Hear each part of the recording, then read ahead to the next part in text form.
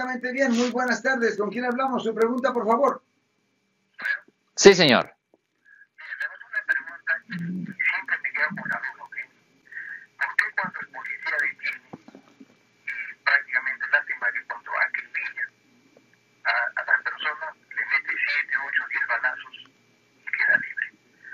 Porque tengo una experiencia de esta persona que yo conozco, no, me, no quiero dar mal en la cuenta.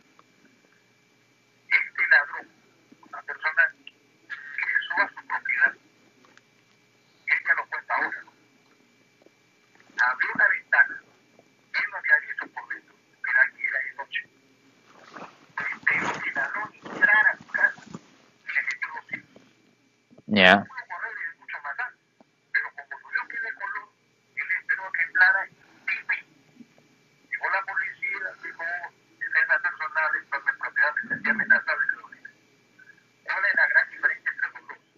Hay una... está viendo que entró a su casa, abrió una ventana y le disparó dos tiros, o el policía que, sabiendo que es otra persona latino de color, le metió ocho balazos, también queda libre.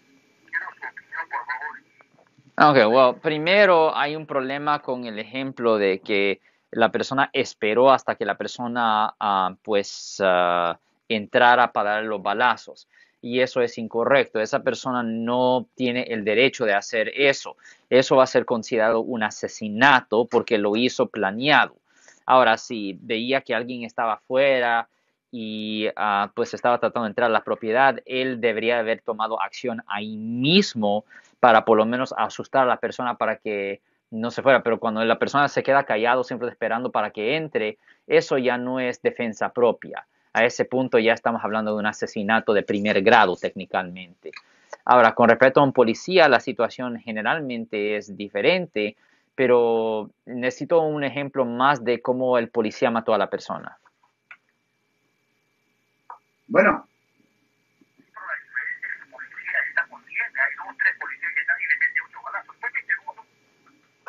Okay, well, la cosa es esto.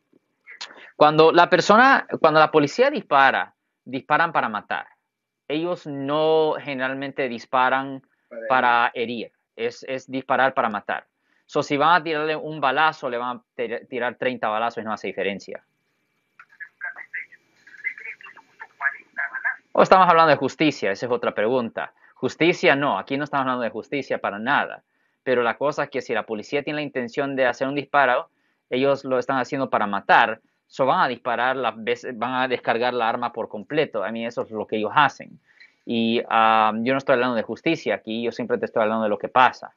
Si les gustó este video, suscríbanse a este canal, aprieten el botón para suscribirse y si quieren notificación de otros videos en el futuro, toquen la campana para obtener notificaciones.